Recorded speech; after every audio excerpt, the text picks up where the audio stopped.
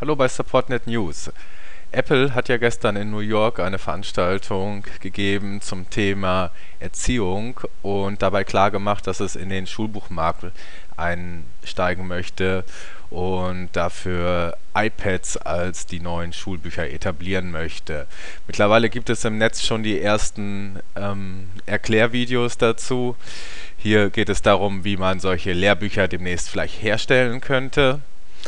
Und ich möchte mal gucken, was denn die deutsche Presse so dazu schreibt. Die FAZ titelt also, dass Apple das Schulbuch neu erfindet und macht besonders darauf aufmerksam, dass es da in den USA immerhin um einen 10 Milliarden Markt 10 Milliarden US-Dollar Markt geht.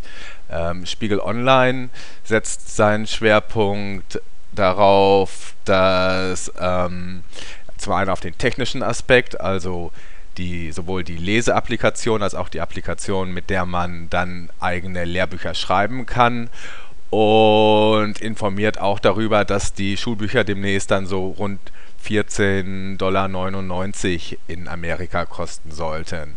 Welt Online spricht davon, dass Apple schlau machen möchte und ähm, beschäftigt sich besonders mit den Möglichkeiten, die so ein äh, multimediales und interaktives Schulbuch in Zukunft bieten könnte.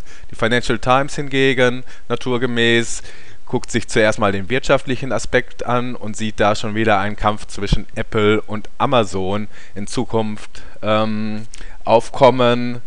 Ähm, zur Erinnerung, in Deutschland dürfte der Schulbuchmarkt so einen Umsatz jährlich von rund einer halben Milliarde Euro haben.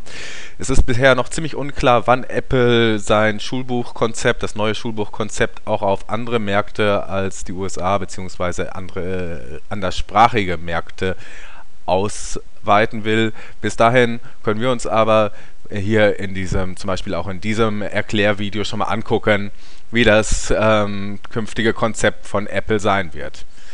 Bis zum nächsten Mal. Tschüss.